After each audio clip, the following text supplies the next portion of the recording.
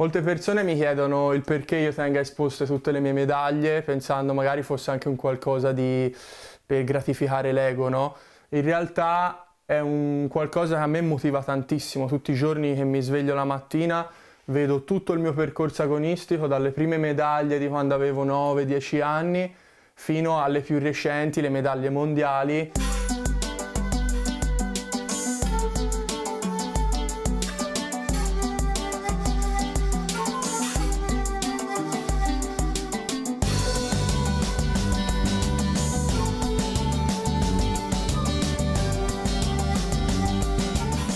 Stanza del nuotatore azzurro Lorenzo Zazzeri i medaglieri non bastano più. I primi tre regalati dalla nonna materna germana, che evidentemente ne aveva subito intuito il talento. Mi ricorda il me bambino e tutto il percorso che ho fatto nello sport. Manca Tokyo che ahimè purtroppo quest'oggi non vi posso far vedere perché tornato dalle Olimpiadi subì un furto e da allora mi sono spaventato e la medaglia che io considero l'apice, no? È quella che tutti sognano, tutti gli atleti sognano, la tengo al sicuro in cassetta di sicurezza in banca. Aspettando Parigi. Aspettando Parigi, incrociamo le dita. Le, le prime gare sono i regionali toscani, in queste piscine lontane al caldo. Un continuo, abbiamo passato degli anni, bello uguale, eh, perché vedevi dello sport, però tanti sacrifici, sì, anche da parte della famiglia, questo, questo bisogna dirlo a tutti. Se non c'è una famiglia dietro importante, eh, non possono nascere ragazzi come Lorenzo.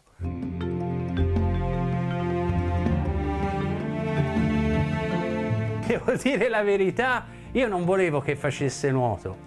Io lo iscrissi alla Settignanese, che è una società storica di Firenze, che intraprendesse il calcio. Ho optato per il nuoto perché ero insegnante di nuoto e quindi io amo tuttora, proprio mi piace sentire l'odore del cloro, sembra una cosa assurda ma è così. Poi Lorenzo era molto gracile da piccolino e, e, quindi non lo vedevo adatto da un punto di vista anatomico, fisico a fare calcio, avevo paura che si rompesse praticamente. Il calcio ormai secondo me per quanto rispetti gli atleti che lo compongono è diventato un business, girano troppi soldi ed è uno show, cioè non, non ci rivedo più l'essenza vera dello sport. Il nuoto è uno sport molto faticoso che richiede disciplina, costanza e dedizione, però è veramente molto bello perché stare immerso nell'acqua è una sensazione difficile da spiegare, è un po' come volare.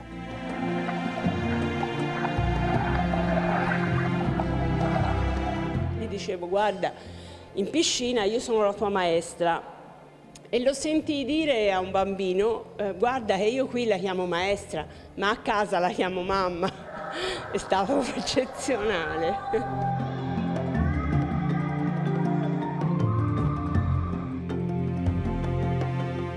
Fiorentino, classe 94, argento olimpico a Tokyo, campione del mondo a Budapest, oro europeo a Roma. Zazart coniuga l'amore per lo sport con la passione artistica, schizzi e pennelli sulla sua scrivania, un mondo a colori nonostante le difficoltà.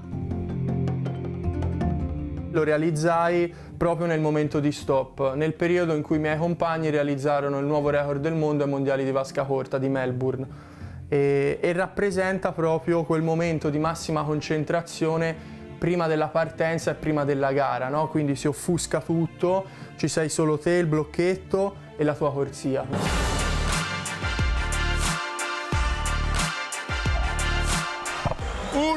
Zazzeri devastante in questa prima parte, mette addirittura il naso davanti agli Stati Uniti che rispondono immediatamente con Becker. Ma l'Italia è sempre lì in lotta per una medaglia con Lorenzo Zazzeri che non molla la posizione, non molla l'osso. È stato dipinto subito dopo le Olimpiadi di Tokyo c'è il famoso detto che Pulcinella non sa nuotare e allora proprio per questo dal Vesuvio escano cinque cerchi olimpici e Pulcinella si aggrappa ad uno di questi cerchi per salvarsi, che può essere un po' la metafora per cui lo sport può salvare anche dalla strada da situazioni difficili i giovani ragazzi.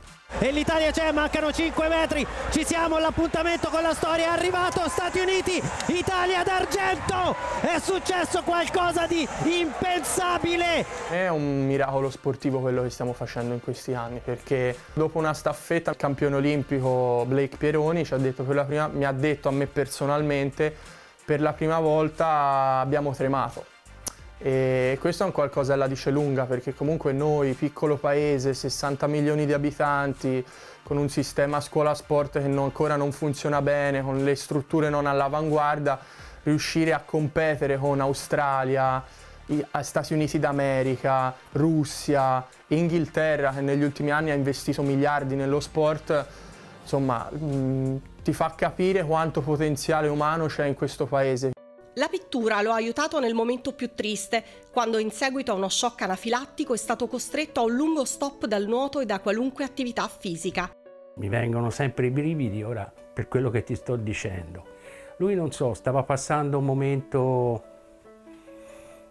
problematico e al Papa gli disse quando si inchinò per baciargli la mano sto perdendo un po' la fede.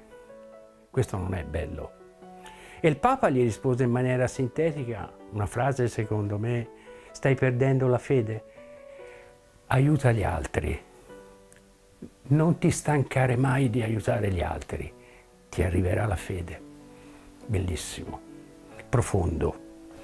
In quell'occasione ha mostrato tutta la sua forza d'animo. La medaglia d'argento di Fukuoka rappresenta una rinascita. A me porta fortuna il Giappone, perché vinco sempre la medaglia. Quindi... Sì? Eh, alle Olimpiadi quest'anno, quindi... L'Australia che alla tocco è campione del mondo per l'Italia, arriva una medaglia d'argento straordinaria, comunque un campionato del mondo che si apre timbrando il cartellino alla grande. Questa è l'ultima medaglia, Fukuoka ai mondiali giapponesi e ironia della sorte, eh, io durante l'anno ho dipinto l'acqua e la medaglia simula proprio la superficie dell'acqua, quindi quando l'ho saputo mi è sembrato veramente una coincidenza pazzesca. È stato uno dei momenti più difficili della mia carriera sportiva, ma direi della mia vita in generale. Ho avuto questo problema di salute abbastanza serio che mi ha tenuto lontano da ogni forma di attività fisica per cinque mesi e nemmeno i dottori sul momento sapevano cosa avessi, quindi è stato un momento veramente che mi ha messo alla prova da un punto di vista mentale soprattutto.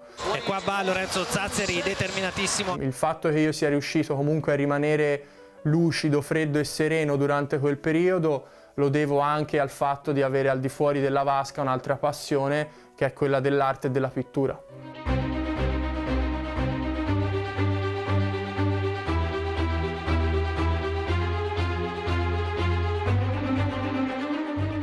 Piazza della Signoria, Palazzo Vecchio, la Galleria degli Uffizi. Nei luoghi simbolo della sua Firenze trova spesso l'ispirazione per nuovi lavori. Immancabile la passeggiata sull'Arno.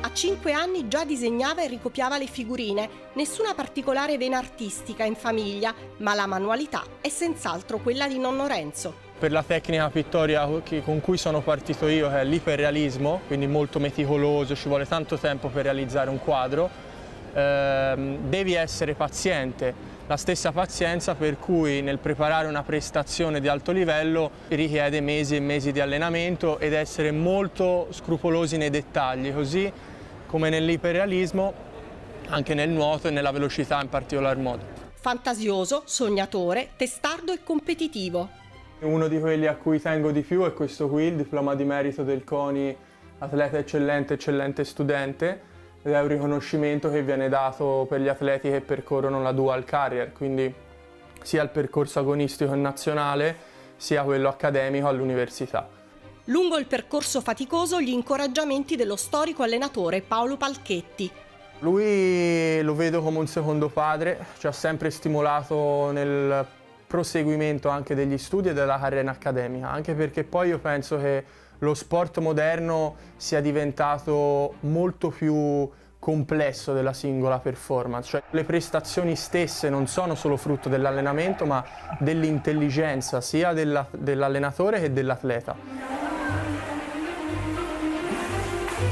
io ho avuto un percorso liceale abbastanza complesso, perché oggettivamente la mia scuola non mi ha mai supportato nel mio sogno e nel proseguimento della mia carriera sportiva pensando che fosse un ostacolo per lo studio, quando in realtà il fare sport ti aiuta a essere più organizzato nell'affrontare la vita scolastica. Con l'esperienza di Lorenzo mi sono accorta che quando si allenava, ed era liceale, si allenava con il pensiero dello studio, quando studiava si studiava con il pensiero dell'allenamento.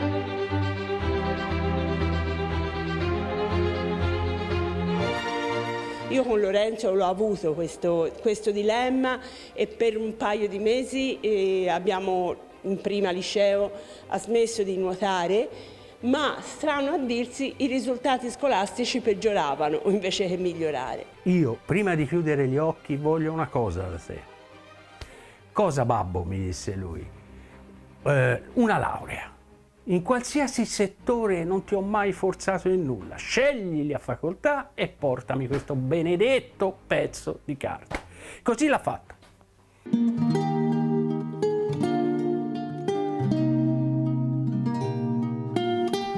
Anche nonno Emilio in passato aveva chiesto a papà Giuliano di laurearsi e proprio al nonno paterno, generale dell'esercito scomparso nel 2015, Lorenzo ha dedicato la scelta del gruppo sportivo di appartenenza un modo per rendere omaggio alla sua memoria e alimentarne il ricordo.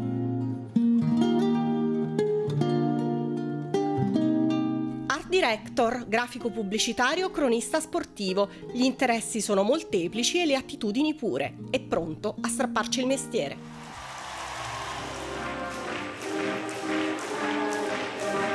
Al di là delle medaglie, lo sport è un veicolo di messaggi.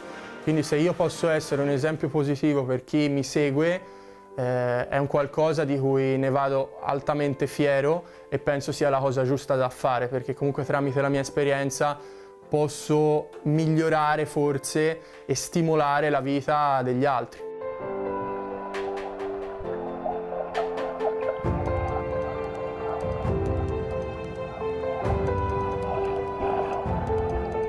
Zazzarti è atteso da impegni importanti, a dicembre l'Europeo in Romania e a febbraio il Mondiale di Doha, per accarezzare il sogno di Parigi 2024. A Parigi arriverò in piena maturità fisica e mentale, quindi la vedo un po' come l'Olimpiade definitiva, come, non che magari non ce ne potranno essere altre in futuro, però come quella del culmine della mia carriera. Quindi eh, poi tra l'altro Parigi è una città che non ho mai visitato, anche lì ricca di arte e non vedo l'ora di, di andarci, però prima mi dovrò qualificare, quindi incrociamo le dita.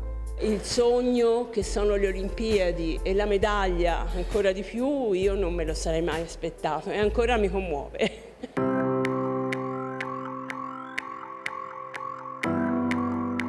Parigi 2024, manca l'oro quello è il sogno dei sogni, è dietro l'angolo, lui, e i suoi compagni si stanno impegnando tantissimo. Noi quello che possiamo fare come famiglia è supportarlo. Intanto deve qualificarsi perché nulla viene dal nulla, bisogna tenere molto i piedi in terra perché ci sono ragazzi emergenti dietro che aspirano ad andare anche loro. Però Parigi, sì, mi farebbe molto piacere e gli faccio una promessa che se andrà a Parigi, costi quello che costi, io e mia moglie andremo a Parigi a seguirlo.